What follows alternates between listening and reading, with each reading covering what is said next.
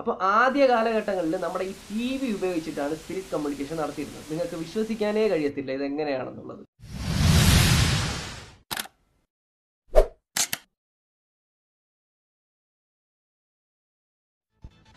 ഇന്നത്തെ video sponsor ചെയ്തിരിക്കുന്നത് Droid pass എന്ന പാസ്വേഡ് മാനേജിംഗ് ആപ്ലിക്കേഷൻ ആണ്. ഈ ആപ്ലിക്കേഷൻ ഉപയോഗിച്ച് പുതിയ പാസ്വേഡുകൾ ഉണ്ടാക്കുവാനും പാസ്വേഡ് പ്രൊട്ടക്ട് ചെയ്യാനും സാധിക്കുന്നു. മാത്രമല്ല നോട്ട്സ് കോൺടാക്ട്സ് എന്നിവ സെക്യൂർ പാസ്വേഡ് വോട്ട് ഉപയോഗിച്ച് സേഫ് ആയിട്ട് സേവ് ചെയ്യാവുന്നതുമാണ്.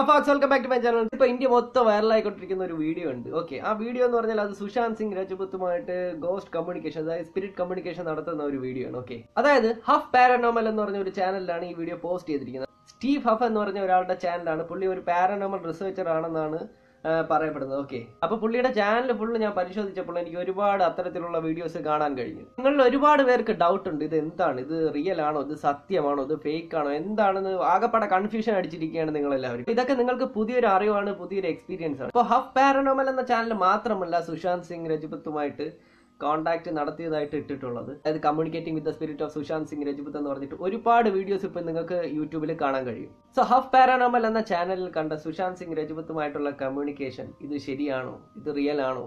എന്നതിനെ കുറിച്ചാണ് ഞാൻ ഇന്ന് പരിശോധിക്കാൻ പോകുന്നത്. അപ്പൊ പാരസൈക്കോളജി പ്രകാരം E V P I T C എന്നൊക്കെയാണ് ഇതിനെ കുറിച്ച് പറയുന്നത്. അതായത് ഒരു ഇലക്ട്രോണിക് മീഡിയം ഉപയോഗിച്ച് ഒരു ഗോസ്റ്റുമായി കമ്മ്യൂണിക്കേഷൻ നടത്തുക എന്നത് തന്നെയാണ്. അതായത് ഇ വി പി എന്ന് പറഞ്ഞാൽ electronic voice phenomenon I T C എന്ന് പറഞ്ഞാൽ ഇൻസ്ട്രുമെന്റൽ ട്രാൻസ് കമ്മ്യൂണിക്കേഷൻ അതായത് ഒരു സ്പിരിറ്റിനെ ഒരു മീഡിയം ഒരു ഇലക്ട്രോണിക് മീഡിയം ഉപയോഗിച്ച് നമ്മൾ കമ്മ്യൂണിക്കേഷൻ നടത്താൻ കഴിയുമെന്നാണ് ചില പാരാസൈക്കോളജി റിസർച്ചേഴ്സ് പറയുന്നത്. ഇ വി പി ഒക്കെ ഇത്രയും പോപ്പുലർ ആക്കിയത് കോൺസ്റ്റന്റിൻസ് റോഡീവ് എന്ന് പറഞ്ഞ ഒരു പാരാസൈക്കോളജി റിസർച്ചർ ആണ് ആയിരത്തി തൊള്ളായിരത്തി എഴുപതുകളിലാണ് ഈ ഈ കോൺസ്റ്റന്റിൻസ് റോഡി വന്ന പാരാസൈക്കോളജിസ്റ്റ് റേഡിയോ അതുപോലെ തന്നെ അത്തരം ഇലക്ട്രോണിക് ഉപകരണങ്ങൾ ഉപയോഗിച്ച് ഒരു സ്പിരിറ്റ് കമ്മ്യൂണിക്കേഷൻ നടത്തിയതായിട്ട് കരുതപ്പെടുന്നത്. സിമ്പിളായിട്ട് ഞാൻ പറഞ്ഞുതരാം. അതായത് ഒരു ടി വി നിങ്ങളുടെ വീട്ടിലിരിക്കുന്ന ടി വി ടി വിയുടെ കേബിളെല്ലാം ഊരിയിട്ടതിന് ശേഷം വെറുതെ ടി വിയെ പ്ലഗ് ഇൻ ചെയ്ത് വയ്ക്കുക. പ്ലഗ് ഇൻ ചെയ്ത് വയ്ക്കുമ്പോൾ ചില ടി വി ആണെങ്കിൽ ഗ്രെയിൻസ് കാണിക്കും. ചില ടി വി ആണെങ്കിൽ വെറുതെ ബ്ലാക്ക് ആയിട്ട് അങ്ങ് ഡിം ആയിട്ട് കിടക്കും. ചില ടി വി കുറച്ച് കഴിയുമ്പോൾ ഓഫ് പോകും അല്ലേ? അപ്പോൾ ആദ്യ കാലഘട്ടങ്ങളിൽ നമ്മുടെ ഈ ടി വി ഉപയോഗിച്ചിട്ടാണ് സ്പിരിറ്റ് കമ്മ്യൂണിക്കേഷൻ നടത്തിയിരുന്നത്. നിങ്ങൾക്ക് വിശ്വസിക്കാനേ കഴിയത്തില്ല ഇത് എങ്ങനെയാണെന്നുള്ളത് പണ്ടത്തെ കാലത്തെ ടി വി നിങ്ങൾക്ക് എങ്ങനെയാണെന്ന് അറിയാം അതായത് ക്ലോസ്ഡ് സർക്യൂട്ട് ടി വിയാണ് അതുപോലെ തന്നെ ആന്റിന ഉപയോഗിച്ചിട്ടുള്ള ടി വിയും കൂടിയാണ്. അപ്പോൾ ഈ ആന്റിന തിരുക്കി ഒരു സ്റ്റേഷൻ അഡ്ജസ്റ്റ് ചെയ്താൽ മാത്രമേ നമുക്ക് ദൂരദർശനെങ്കിലും കിട്ടത്തുള്ളൂ. അതായത് ഈ നയന്റീസ് കിഡ്സും അതിന് മുമ്പുള്ള ജനറേഷനും ഒക്കെ ഒരുപാട് അറിയായിരിക്കാം. ഈ ഞാൻ ഈ പറയുന്ന കാര്യങ്ങൾ ഒരുപാട് അറിയായിരിക്കാം. എന്നിട്ട് ബൂസ്റ്റർ എന്നൊക്കെ പറഞ്ഞിട്ടൊരു സംഭവമുണ്ട്. ഇന്നത്തെ കാലത്ത് അതൊന്നുമില്ല. ഇന്നത്തെ കുട്ടികൾക്കൊന്നും അത് അറിയാനും വഴിയില്ല. ഈ നയന്റീസ് കിഡ്സിനും അതിനു മുമ്പ് ജനിച്ച ജനറേഷനിലൊക്കെ ഉള്ള ആൾക്കാർക്ക് ഇത് അറിയാൻ വഴിയുണ്ട്. അപ്പോൾ അന്നത്തെ കാലത്ത് അന്ന് പാരാസൈക്കോളജിയിൽ ഒരു ഇലക്ട്രോണിക് വോയിസ് ഫിനമനൻ ഉപയോഗിച്ചുള്ള റിസർച്ച് എന്ന് പറഞ്ഞാൽ ടി വി ഓൺ ചെയ്ത് വെച്ചിട്ട് അതിൽ വരുന്ന സിഗ്നൽസിന്റെ വ്യതിയാനങ്ങൾ അവർ നോട്ട് ചെയ്യും. അതായത് ചിലപ്പോൾ അവർക്ക് ആ ടി വിയിലൂടെ ഒരു ഇമേജ് കാണാനൊക്കെ കഴിഞ്ഞിട്ടുണ്ട് എന്ന് പറയപ്പെടുന്നു. അതായത് മരിച്ചയാളുടെ ഇമേജ് വരെ ആ ടി വിയിൽ കാണാൻ കഴിഞ്ഞു എന്ന് പറയുന്നു. അതായത് അന്നത്തെ കാലത്ത് ഇവർ ഈ ടി വി ഓൺ ചെയ്ത് വെച്ചിട്ട് ഒരു സ്റ്റേഷനോ ഒന്നും ട്യൂൺ ചെയ്യാതെ ആ ടി വിയുടെ ആ സ്ക്രീനിൽ വരുന്ന വ്യത്യാസങ്ങൾ ഇവർ നോട്ട് ചെയ്തിരുന്നു. ഇപ്പോൾ ഇലക്ട്രോണിക് വോയിസ് ഫിനമന എന്ന സംഭവത്തിന്റെ ആദ്യ കാലഘട്ടത്തിലെ അടുത്ത ഒരു പരീക്ഷണം എന്ന് പറഞ്ഞാൽ റേഡിയോ ഉപയോഗിച്ചിട്ടുള്ള പരിപാടികളാണ്. ഇപ്പൊ നമുക്കൊരു എഫ് എം റേഡിയോ എടുത്താൽ തന്നെ അതിൽ ഒരുപാട് സ്റ്റേഷൻ നമുക്ക് ട്യൂൺ ചെയ്താൽ ആ ഒരു സ്റ്റേഷന്റെ പാട്ടും അതുപോലെ തന്നെ പ്രോഗ്രാംസ് എല്ലാം നമുക്ക് കേൾക്കാൻ കഴിയും. പക്ഷേ ഒരു സ്റ്റേഷനും ട്യൂൺ ചെയ്യാതെ വെറുതെ വേക്കന്റ് ആയിട്ട് വെച്ച് നോക്കൂ. അപ്പോൾ നമുക്ക് ഇത്തരത്തിലുള്ള ഒരു സൗണ്ട് ആയിരിക്കും. ഇപ്പോൾ നിങ്ങൾ കേൾക്കുന്ന ഒരു സൗണ്ട് ആയിരിക്കും കേൾക്കാൻ കഴിയുക. അല്ലേ? ഈ ഒരു സൗണ്ട് നിങ്ങൾ കേൾക്കും.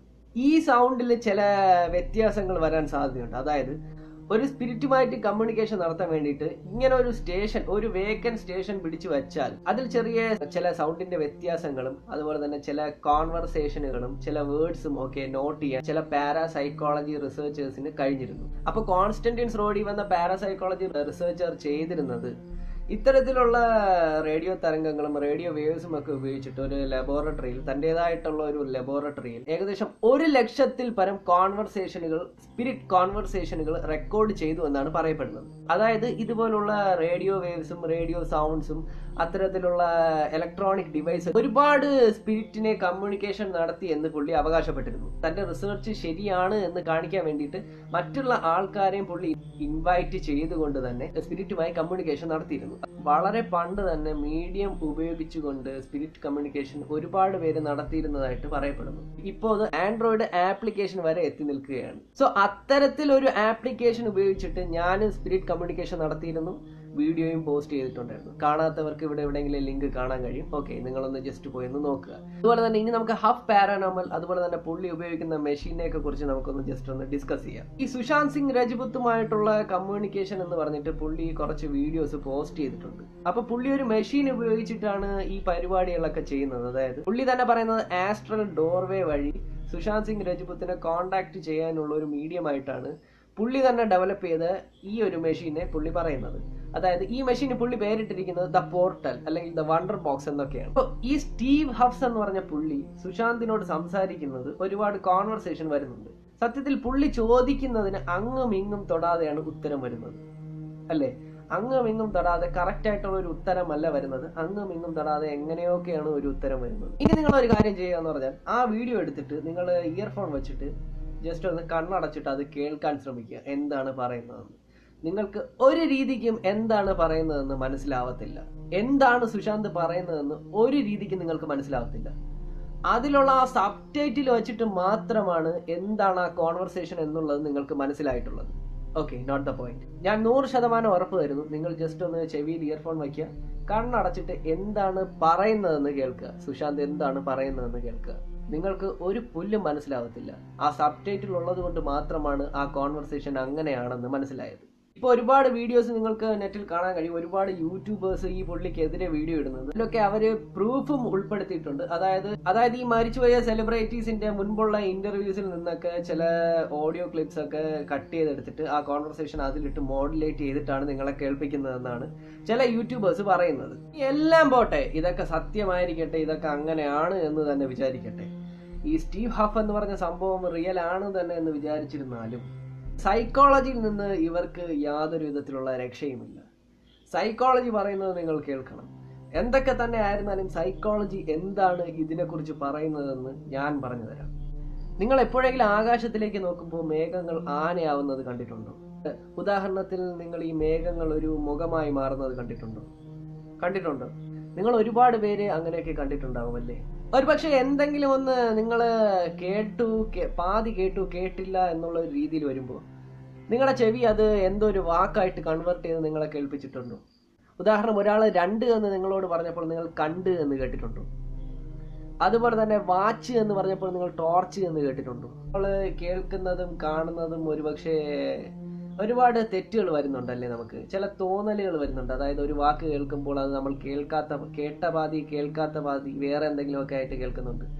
ഇതിനെ സൈക്കോളജിയിൽ പാരഡോളിയ എന്നാണ് പറയുന്നത്.